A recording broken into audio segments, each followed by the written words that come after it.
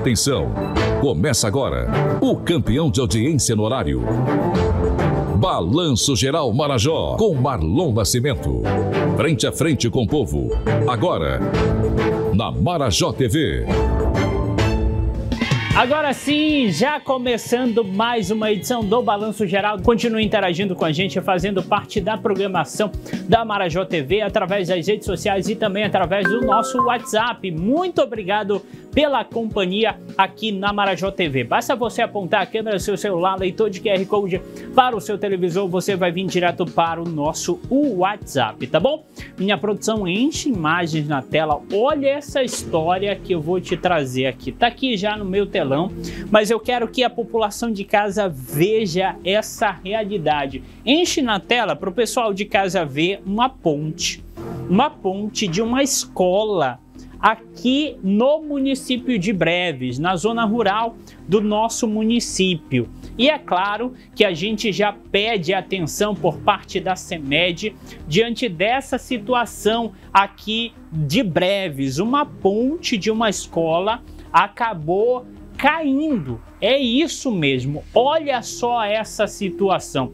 A gente já pede a, o apoio por parte da CEMED diante dessa situação lamentável, investimento por parte da prefeitura nas unidades educacionais do nosso município. A gente não pode deixar de forma alguma as nossas crianças em uma situação complicada como essa. Eu vou te trazer detalhes dessa situação no balanço geral de hoje, lamentavelmente, as crianças sendo prejudicadas por conta dessa situação dessa escola aqui na zona rural do município de Breves. Daqui a pouquinho eu te trago todos os detalhes aqui na tela da Marajó TV para você que está acompanhando a nossa programação.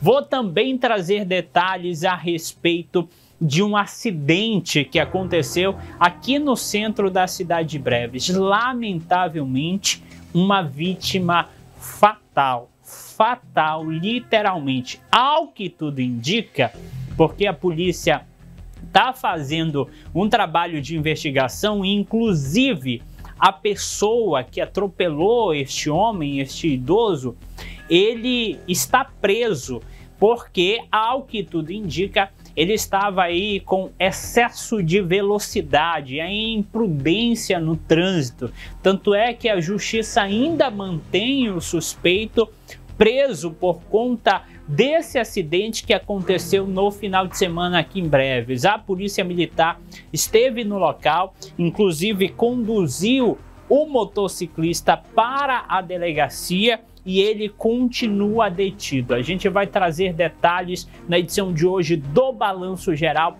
a respeito disso. E também a respeito da inauguração da PA 159, mais de 20 quilômetros de pavimentação asfáltica, momento importante de alegria para o povo brevense que tem a oportunidade de agora ter uma estrada, um sonho da população de ter essa pavimentação e agora essa garantia através da nova PA 159. A gente tem imagens aí, inclusive de arquivo, desde o primeiro dia de obra da PA 159 e agora podendo mostrar para você essa linda estrada que vai servir a população de Breves e quem sabe, segundo o próprio governador anunciou, daqui a pouquinho já trago um spoiler para você, né, de um projeto de expansão dessa estrada, bem como outros investimentos. O evento contou aí com a presença do prefeito de Breves, deputada Andréa Charão e o deputado Lute Rebelo, que é o vice-presidente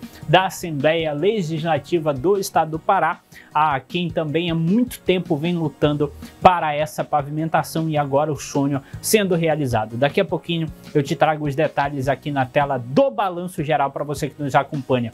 Desde já mandar um abraço para nossa querida população de Melgaço. Muito obrigado pela um companhia, estamos acompanhando lá através do canal 9. Mandar um abraço também para todos que estão acompanhando a nossa transmissão na página da Marajó TV no Facebook também no canal do Grupo Marajó de Comunicação no YouTube. Muito obrigado pela companhia, obrigado pela audiência. Continue mandando mensagem, enviando a sua dica, a sua sugestão de pauta para o nosso interativo para que a gente possa continuar fazendo o jornalismo mais interativo e participativo do arquipélago Marajoara.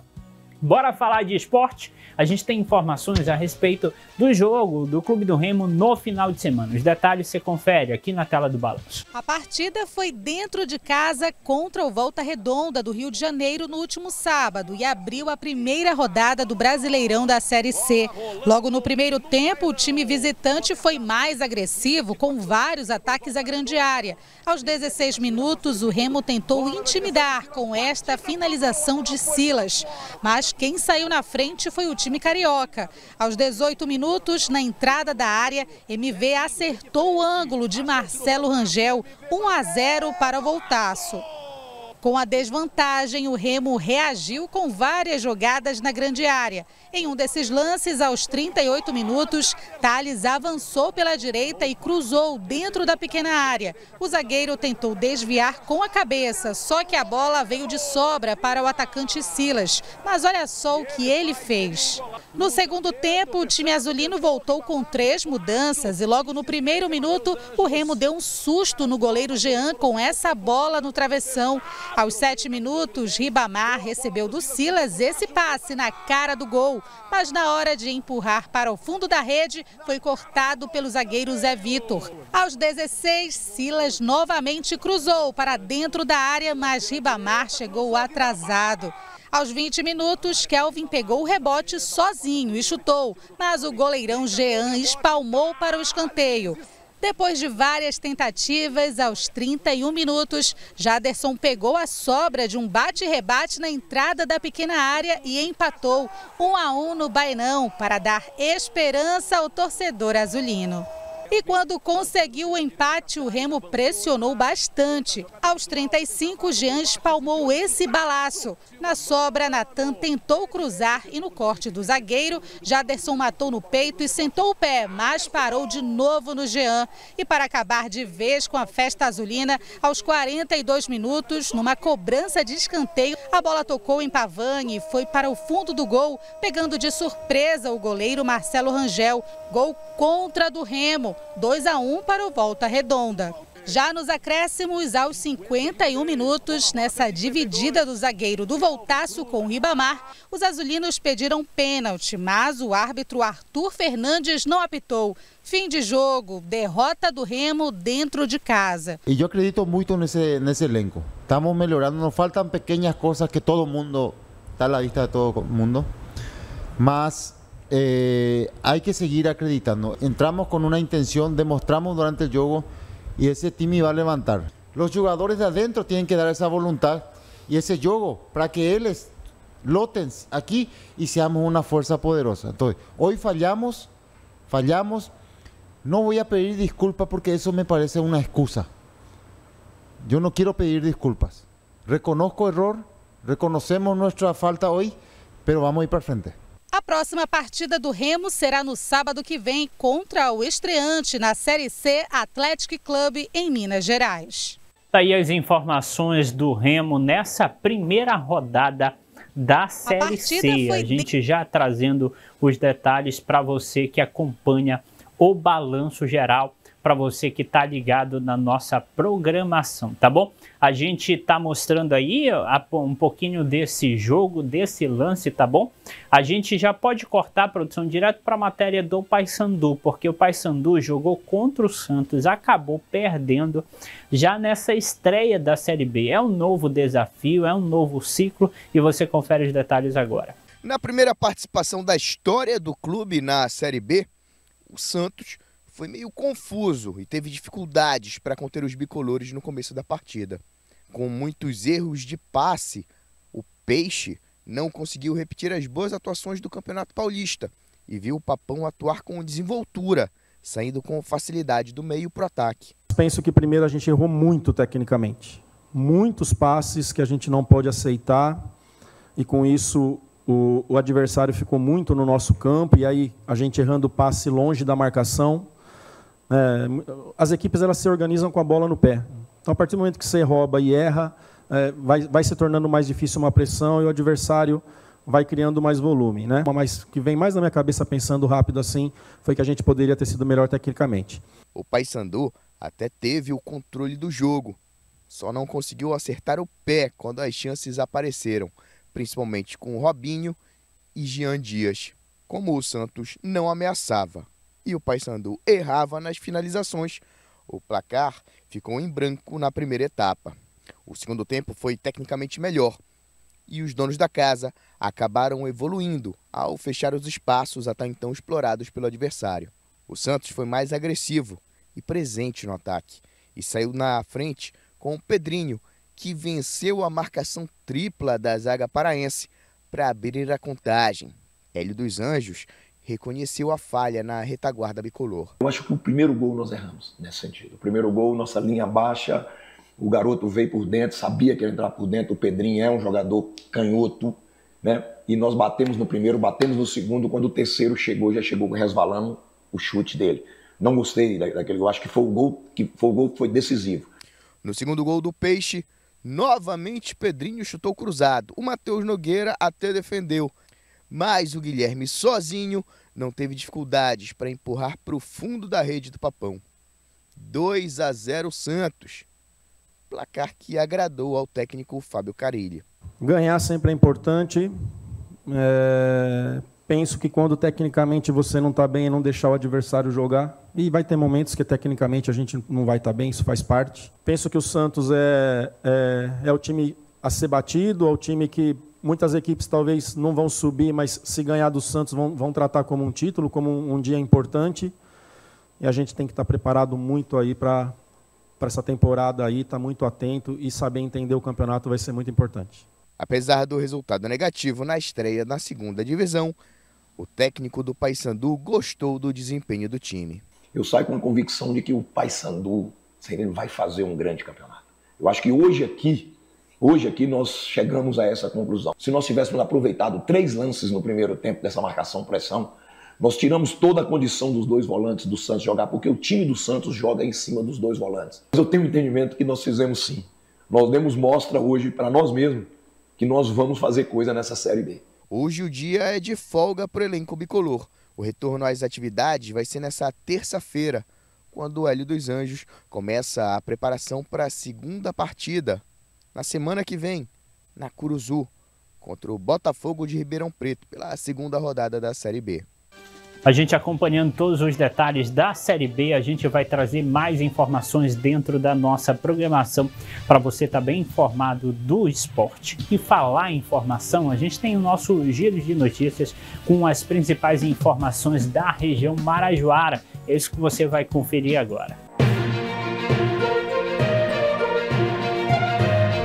Polícia prende suspeito de abusar de meninas de 10 e 13 anos aqui na Ilha do Marajó. Polícia Militar do município de Afuá prendeu um homem acusado de abusar duas menores de 10 e 13 anos. A PM conseguiu chegar até o suspeito após denúncias do Conselho Tutelar que alertou sobre o caso. Além dos abusos, ele também teria ameaçado as menores de morte. O suspeito foi encaminhado à delegacia e a polícia investiga o caso. Na manhã do último sábado, dia 20 de abril, um homem veio a óbito após acidente envolvendo uma moto aqui em Breves, na Ilha do Marajó. Um homem morreu no último final de semana em Breves após ser atingido por uma motocicleta. A vítima, identificada como Juscelino dos Santos, não resistiu aos ferimentos e veio a óbito ainda no local.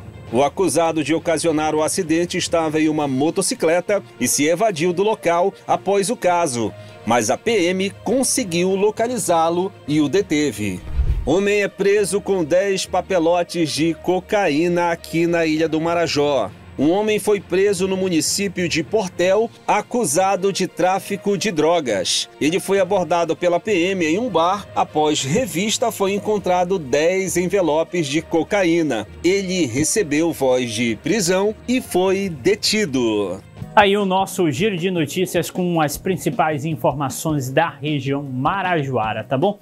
Você fique ligado na nossa programação, a gente vai para um rápido intervalo na volta. Já começo a trazer as fotos dos nossos telespectadores. Participa junto com a gente, manda aí a sua foto com a sua família, com seus amigos. Como foi o final de semana? Manda pra gente que no finalzinho do jornal a gente já traz aqui na tela do balanço. Eu vou para um rápido intervalo e volto já já. Enquanto isso, o nosso WhatsApp está aqui, aponte a câmera do seu celular ou salve o nosso número para você mandar sua mensagem durante o intervalo e a gente já vai organizando para colocar você aqui na tela do balanço. Eu já volto.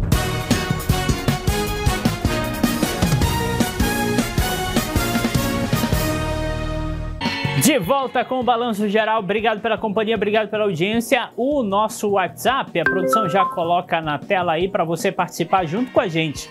992852322, 99225 o é, 2322, 99225 2322, você pode participar com a gente. 20 9285 2322, 9285 2322. Venha participar aqui na tela do Balanço Exatamente. Geral. Basta você apontar a câmera do seu celular, leitor de QR Code para o seu televisor, você vai vir direto para o nosso WhatsApp e já participa junto com a gente. Olha só, todos os dias a gente recebe aqui no Grupo Marajó de Comunicação dezenas de mensagens, de denúncias, de pessoas solicitando para que a gente de alguma forma seja essa voz entre a necessidade da população e o poder público. E é justamente isso que o nosso radialista Hilton Ramos foi cumprir mais uma pauta, dessa vez na rua José Rodrigues da Fonseca. Veja só a denúncia aqui... a respeito desse buraco que está tirando a paz aí dos moradores. Nós estamos aqui no bairro da Castanheira, na rua Anésio Cardoso, ou melhor dizendo, rua José Rodrigues da Fonseca, esquina com Anésio Cardoso. Estamos mostrando aqui a realidade que se encontra esse perímetro aqui, viu? Há meses foi feito aqui um esgoto e colocaram manilhas ou manilhas, como você entendam. E essa, esse esgoto vai lá para o Igarapé Santa Cruz. Mas quebraram a rua e não consertaram. E a situação aqui está tá delicada. Olha, você, meu, nosso cinegrafista está mostrando a realidade aqui que se encontra a rua. Olha aqui, uma das ruas principais que dá acesso a um bairro Jardim Tropical, perto do posto de saúde, perto da igreja e perto da, da escola Ruth Helena. Ele, mostra aqui, José, já filmou aqui, meu irmão?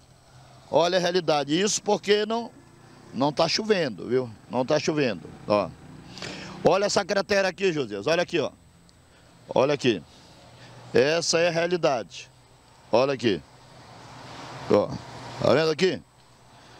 Isso aqui é perigoso até uma pessoa uma pessoa cair, quebrar a perna, um idoso com a visibilidade, com dificuldade, cair, quebrar a perna, ou alguém de moto se acidentar.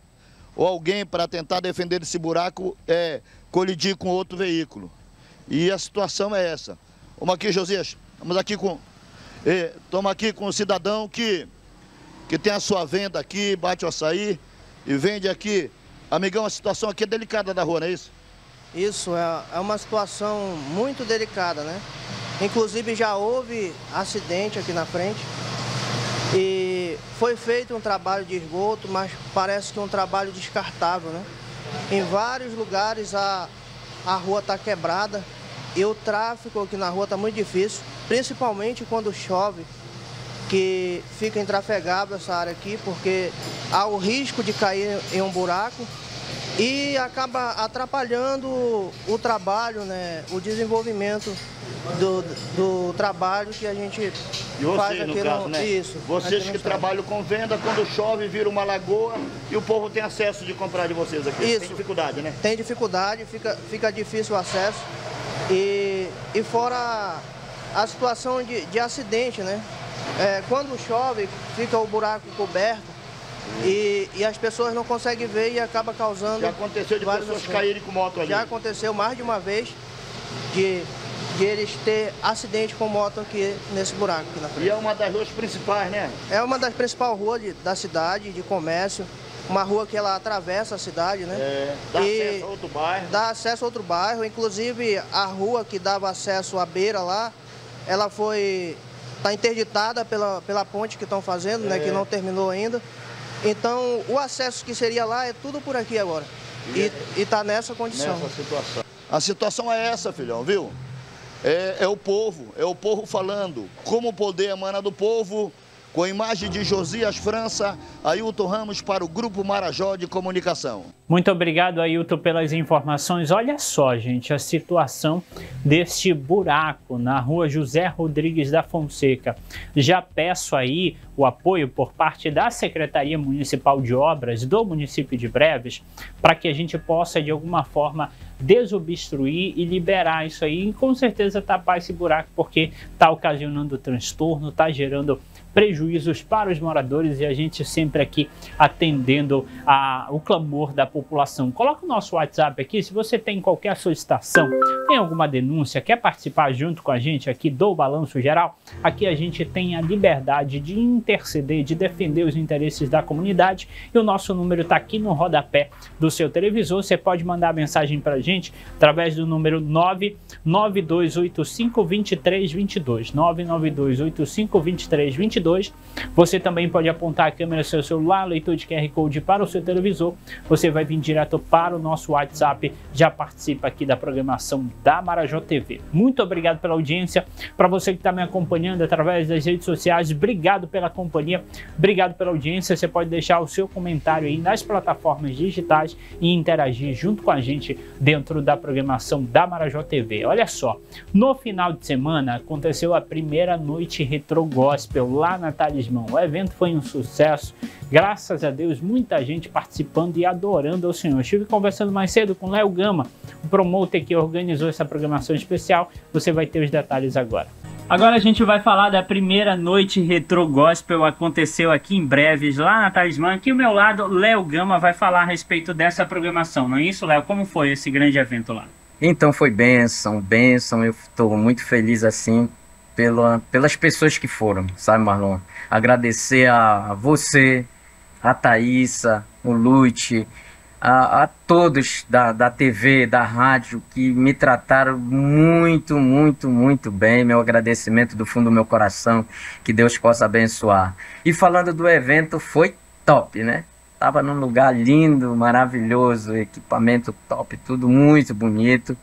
E eu quero agradecer as pessoas, agradecer a todas as pessoas que nos ajudaram com alimento não perecível. A todos os pastores que estiveram presentes lá, os que não tiveram, mas mandaram o povo, a igreja aí. Eu tenho que agradecer. E eu não posso deixar de não agradecer alguns pastores que realmente tomaram a frente junto comigo. O meu pastor da minha igreja, da, da Igreja do Evangelho Quadrangular, o pastor Haroldo Monte Verde, meu muito obrigado, meu pastor. Deus abençoe o senhor grandemente, tá?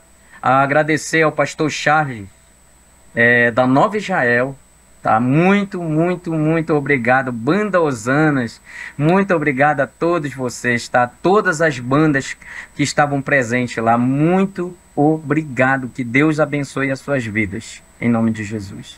Olha só, e esse foi o primeiro evento. Em breve vai ter mais programação evangélica também. Aproveitar agradecer a gestão aí da Casa de Show Talismã pelo espaço. E é claro que aguarde as próximas programações também. Sem dúvida nenhuma, o Léo vai estar trazendo já nos próximos dias algumas novidades para você que acompanha a nossa programação. Obrigado, Léo, pela parceria de sempre, a gente destacando aí uma programação especial lá na Talismã. Agradecer aí a nossa amiga Thaísa Ribelo, sempre apoiando esses eventos, também toda a coordenação lá da Talismã e o grupo Bom Jesus pelo apoio de sempre nessas programações também, deputado Lute Rebelo. Seguindo aqui o Balanço Geral, mandar um abraço aqui para todos que estão me acompanhando, bairro Centro, Cidade Nova, Aeroporto, muito obrigado pela companhia, obrigado pela audiência, continue mandando mensagem e é claro, fazendo parte da programação da Marajó TV através das redes sociais e também através do nosso WhatsApp. Bora seguir, trazer informação para você agora a respeito da prisão de um homem suspeito de ameaçar uma pessoa. Olha só os detalhes, a Águeda Valente vai trazer mais detalhes. A polícia prendeu em Portel um homem de 31 anos acusado de ameaçar um outro homem com uma arma branca. Segundo o coronel Márcio Abud, a polícia militar foi até o local após ouvir uma ocorrência de uma suposta ameaça com uma faca. A vítima é um rapaz de 26 anos que teria relatado que sofreu ameaças do homem. Segundo ele, o suspeito teria corrido atrás dele com a faca até chegar na Rua 20, na Rua Nossa Senhora dos Navegantes. Segundo o pai da vítima, ele escutou os gritos do filho e saiu de sua residência, que fica na mesma rua, com um terçado para defender o rapaz. O ameaçador, juntamente com a faca, foi encaminhado para a Delegacia de Polícia Civil para os procedimentos necessários. A gente destaca que esse tipo de situação, principalmente no final de semana, acontece com bastante frequência, principalmente pelo excesso de consumo de bebidas alcoólicas. Gente, é necessário tomar bastante cuidado, que todo mundo se divirta, né? Mas com responsabilidade e com tranquilidade, porque não dá de forma alguma para a gente compactuar, para a gente concordar com a violência. E falar em excesso, a gente tem, infelizmente, a triste notícia do falecimento de uma pessoa em razão de um acidente. A pessoa que estava conduzindo a motocicleta, ela foi detida pelas autoridades policiais e, ao que tudo indica, houve imprudência justamente pelo excesso de velocidade. Os detalhes Rodrigo Souza traz pra gente. Tudo aconteceu na manhã do último sábado, dia 20 de abril, aqui na esquina da rua Lourenço Borges com a Mário Curica. A gente consegue ver aqui que a que a rua Mário Curica é uma rua muito movimentada, né? O condutor da moto, ele veio em alta velocidade no sentido da Mário Curica, no sentido centro, né? A gente a gente está aqui na China. Pode focar aqui, Josias, ele veio de lá, né? E no momento o senhor ia atravessando a rua aqui, a Mário Curica, e ele foi ele foi pego de surpresa com a alta velocidade do veículo, da moto, aqui nessa esquina. Inclusive aqui a gente consegue ver, Josias, que o moradores, né, colocaram aqui, é, foi muito sangue, muito sangue, e moradores colocaram um pouco de, de, de terra, né, de lama, para que pudesse fazer uma limpeza aqui, né, do sangue do saudoso senhor aqui da rua Mário Curica, aqui nesse perímetro entre Mário Curica e Lourenço Borges, aqui no município de Breves. A nossa equipe foi até a guarnição da PM, né, saber como é que está a questão dos procedimentos. E a gente conseguiu falar com o capitão Lopes e ele vai explicar para a gente o que, que aconteceu após o acidente com o senhor aqui na rua Mário Curica. A ocorrência ela se deu ali na, na rua Lourenço Borges com a Mário Curica, onde um cidadão ele vinha, segundo informações, em alta velocidade, pilotando uma motocicleta e um senhor de idade, é, supostamente ele tem, tinha problemas aí de saúde, ele ia atravessando a rua. E no momento que ele foi atravessando a rua, o cidadão que vinha na motocicleta acabou atropelando mesmo. E foi um acidente bastante grave, o senhor perdeu bastante sangue e acabou realmente indo a óbito ali no local, segundo aí as autoridades competentes. O cidadão não aguardou aí as autoridades e acabou é, empreendendo fuga. Segundo ele, ele iria para a UPA. As guarnições se deslocaram até a unidade de pronto atendimento lá de Breves para verificar a situação e quando chegaram lá o mesmo já tinha se evadido, ou seja, foi uma clara situação de omissão de socorro. Então as guarnições começaram as diligências atrás do mesmo acabaram encontrando ele na sua residência. O mesmo foi conduzido para a delegacia aí e ele foi autuado em flagrante. E Lopes, o final de semana em breve teve mais algum acidente, mais alguma ocorrência grave? O trabalho da PM ele vem sendo feito com muita maestria no nosso município, né? Isso, a Polícia Militar está 24 horas por dia nas, nas ruas de Breves, não só de Breves, mas em todo o Pará, justamente para realmente é, trazer mais segurança para o cidadão. Nesse momento eu estou aqui com um morador que acompanhou a situação, o que realmente aconteceu, querido Chacal, morador há muito tempo aqui da, da Mário Curica. Explica pra gente, Chacal. O que houve aqui, que, que acontece todo final de semana. O acidente ele é constante aqui. Todo final de semana se depara aqui. Somente no horário das 12 horas, né? O fluxo é muito grande, as pessoas querem chegar o mais rápido, né? E sempre a pressa ela traz essas situações, né? E lamentavelmente, e ele é um senhor, né, que sempre estava aqui na frente com a gente, fazendo o trabalhozinho dele e também da tinha deficiente física. mesmo que a pessoa, o condutor, tinha, tivesse por acaso buzinado, mas não daria tempo de sair. A dificuldade para ele atravessar também, né? Por sim, a dificuldade, sim, sim, com certeza. Assim como pode ter sido ele, qualquer um da gente, né?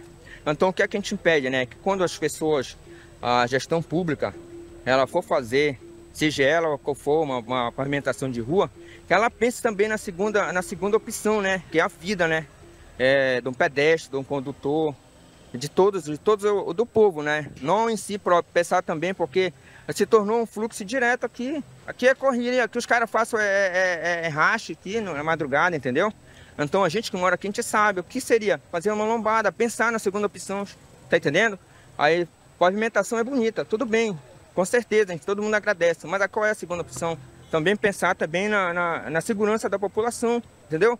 Então as pessoas vão fazendo, vão botando, beleza. Mas também é é uma lombada no qual vou deixar bem claro que por mim eu vou fazer por conta própria, entendeu? Porque daqui com um dia a gente não sabe, a gente tem filhos, tem parentes, amigos, como ele é um amigo, né? Lamentavelmente, já vimos outras situações aqui que a gente socorre, mas... Você estava contando que, que quando vocês estão aqui na, na tua casa, né? Essa aqui é a Mário Curica, esquina com a Lourenço Borges, né? Vocês ouvem o barulho aqui da cacetada da... da... É, isso é constante. Eu tava falando agora aqui para o pessoal, né? SAMU aqui, a polícia, né? Isso é constante. Quem socorre somos nós, né? Aqui na mercearia que a gente dá o apoio, né? no mercantil que a gente tem. É nós que socorremos, né? Como junto com os vizinhos e amigos, né? Igual... Infelizmente, infelizmente, dessa vez uma vida se perdeu, né? Uma vida, agora, não, infelizmente, uma vida que não vai chegar nem ser socorrida, né? Na UPA. Infelizmente, daqui para o Nicotério, né? Lamentavelmente, né? Como vocês estão vendo aí. Entendeu? Então, pedimos que essas coisas não venham a ocorrer, né? Que as providências sejam tomadas. Senão, a gente toma por conta própria, né? sociedade, população e eu como morador. É uma, é uma coisa que a gente tem que falar, a gente tem que ter resposta. Infelizmente, fala bem não tem resposta. Lamentável. Vale fazer uma observação de super importância, minha gente. Qualquer condutor, seja de moto ou de, de, de carro, se não tiver habilitado, nem sente numa moto. Se não tiver habilitado, nem entre dentro de um carro. Porque dirigir sem habilitação é crime. E para dirigir um carro ou uma moto tem que ter extrema responsabilidade, tanto com a nossa vida quanto com a vida das outras pessoas. Infelizmente, né, o senhor veio a óbito, foi mais um acidente com a perda de uma vida aqui no município de Breves. Aqui é Rodrigo Souza para a programação Marajó TV.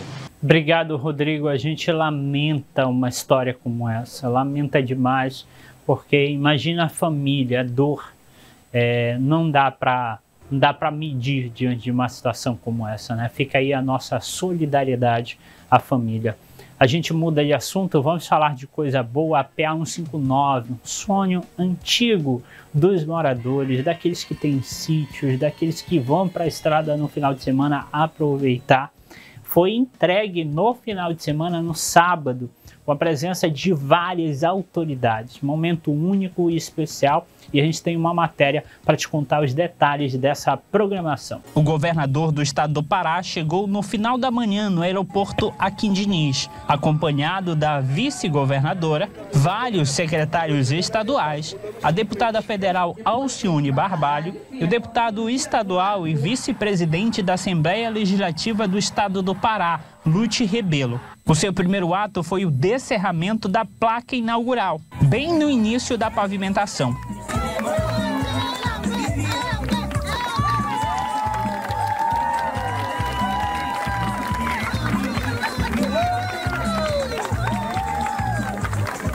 Em seguida, o desenlace da fita, inaugurando oficial os mais de 20 quilômetros de pavimentação.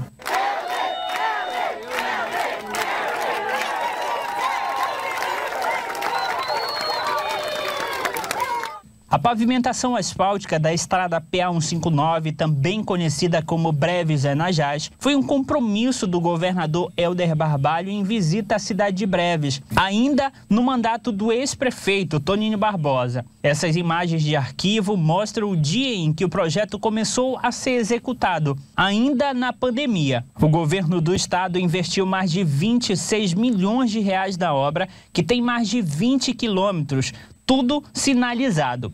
O pronunciamento das autoridades foi na comunidade Aprocotane, onde foram recebidos pela comunidade com várias frutas e legumes produzidos na estrada e suas vicinais. A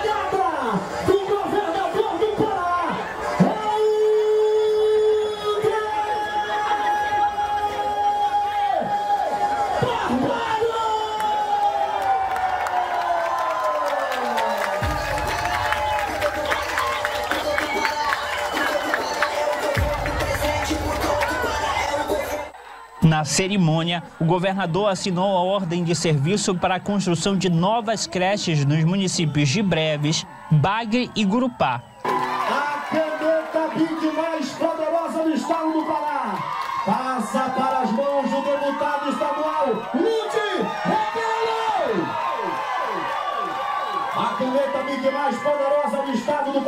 O objetivo do governo do estado é construir uma creche em cada cidade do Marajó, abrindo mais de 5 mil novas vagas. Hoje, governador Helder, junto com a nossa vice-governadora, vai estar dando a ordem de serviço de construção de sete novas creches aqui, é, incluída a de Breves. Né? Nós estivemos no, no, no, no, início do ano aqui, anunciamos, obviamente, as licitações e conseguimos concluir é, e vamos iniciar as obras já imediatamente. E isso é uma grande é, importância para o Marajó, para cada uma das cidades.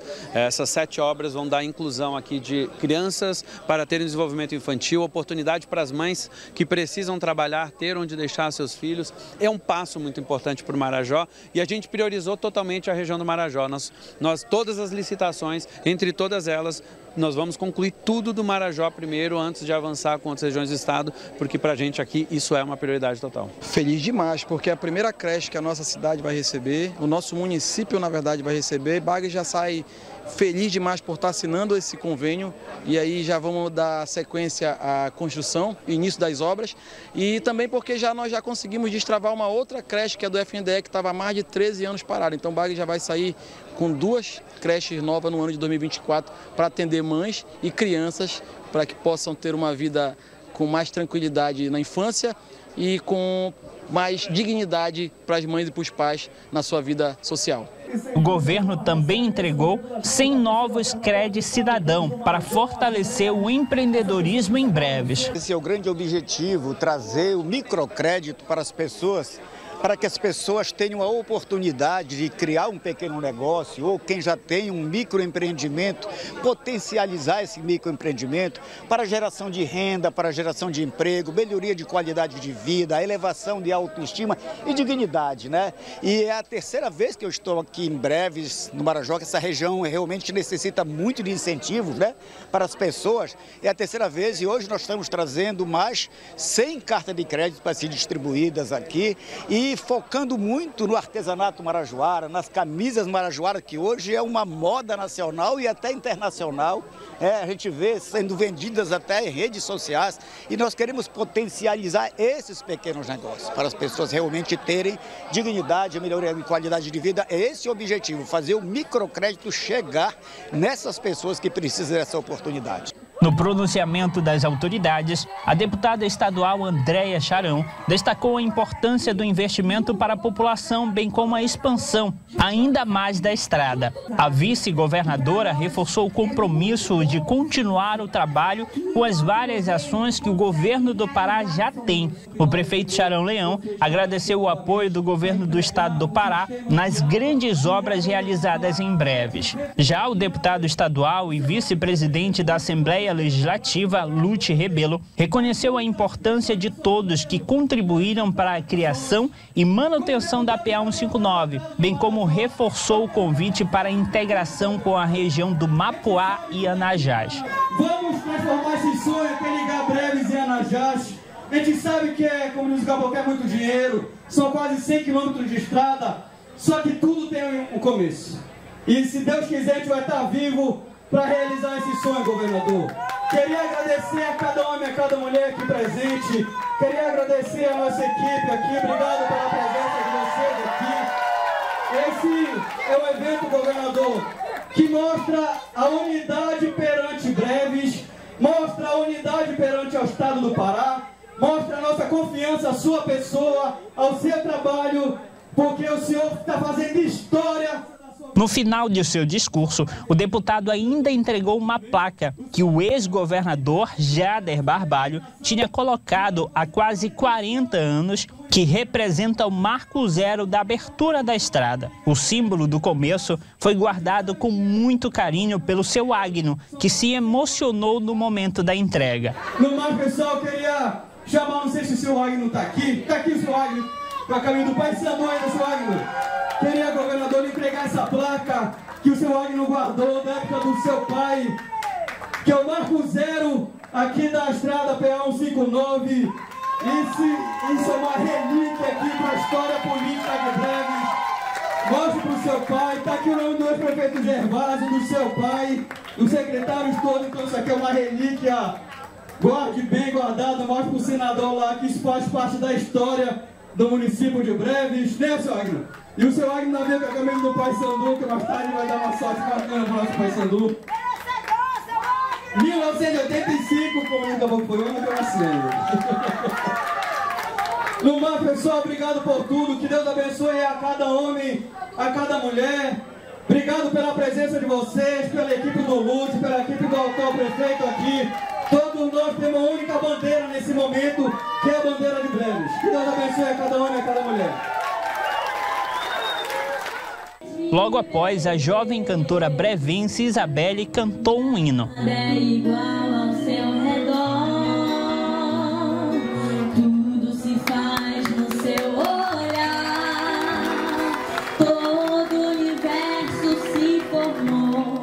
No pronunciamento do governador do estado do Pará, Helder Barbalho, destacou os vários investimentos que têm sido aportados em breves para a melhoria da qualidade de vida da população. É por isso que nós priorizamos o Marajó, por isso priorizamos o município de Breves. Estamos nesse momento com investimentos na área da educação, com creche sendo construída nas 17 cidades do Marajó, ampliando em 5 mil vagas de crianças 0 a 5 anos, portanto, uma política efetiva de proteção às nossas crianças. Estamos investindo em saúde, com a construção do Hospital Materno Infantil e ainda este ano nós estaremos inaugurando o primeiro materno infantil regional uh, do Marajó, investindo em estradas, investindo em pavimentação de ruas, ampliando a rede de terminais hidroviários. Ontem entregamos o 27º terminal hidroviário só na nossa gestão e aqui no Marajó nós estamos construindo o terminal de breves, estamos construindo o terminal uh, em Salvaterra, em várias outras cidades, já entregamos em diversos municípios. Estamos investindo em saneamento com abastecimento de água que chega a várias cidades, destacando este município. Portanto, um conjunto de ações que uh, buscam olhar para que nós possamos atender e cuidar da população do Marajó. Nós uh, queremos muito poder fazer a integração de Anajás com o município de Breves. Neste momento já são 22 quilômetros pavimentados e temos mais 70 quilômetros pela frente. Então a orientação é que a Secretaria de Transporte possa fazer o projeto para a gente poder ter um orçamento, saber quanto custa, buscar um traçado de rodovia que possa garantir o licenciamento ambiental e a partir da solução destas questões poder projetar o início desta estrada. Lembrando que neste momento nós estamos construindo uma estrada importantíssima de integração para o Marajó, que liga Portel com Cametá, portanto, ligando o arquipélago do Marajó com o, com o, continente, com o Baixo Tocantins, permitindo com que as pessoas possam chegar até a capital, não mais apenas por meio fluvial, podendo todas as cidades, Breves, Bagre, Curralinho, Melgaço, todos se deslocarem até Portel e de Portel podendo por estrada chegar até Belém. Vamos continuar trabalhando e priorizando o Marajó. Mais uma rodovia importante do governo do estado sendo entregue hoje aqui no município de Breves, na ilha do Marajó. São mais 22 quilômetros de pavimentação asfalta que vem transformar a vida da população aqui dessa região. Por aqui passa escoamento da produção, traz mais desenvolvimento econômico, agricultura familiar beneficiada. Além disso, traz mais qualidade de vida para a população que precisa acessar das vilas para a sede do município, com uma infraestrutura de qualidade, com uma estrada sinalizada, com mais segurança para o trânsito e também melhora o acesso das pessoas. Os nossos estudantes que precisam chegar nas escolas agora chegam com mais facilidade, com mais qualidade. As pessoas que precisam acessar os postos de saúde também chegam nesses locais com mais facilidade. Então é o governo é, cuidando da população, trazendo desenvolvimento econômico e principalmente fazendo a transformação do nosso estado. E, secretário, a gente tem visto várias ruas sendo recapeadas também na parte urbana. O que o senhor tem a dizer a respeito desse outro trabalho também realizado por parte do governo do estado? O governo também tem esse programa voltado para dentro do município. Né? O nosso programa Asfalto por todo o Pará tem exatamente essa finalidade de transformar também a vida, trazendo mais qualidade para a população que mora nos centros urbanos. Com isso a gente consegue trabalhar uh, tirando a, a, população da lama no inverno, tirando a população da poeira no verão, dando melhor acesso, com mais qualidade, com mais dignidade, garantindo o direito de ir e vir de toda a população de todos os municípios do estado. E breves, Marajó não podia ficar de fora desse programa.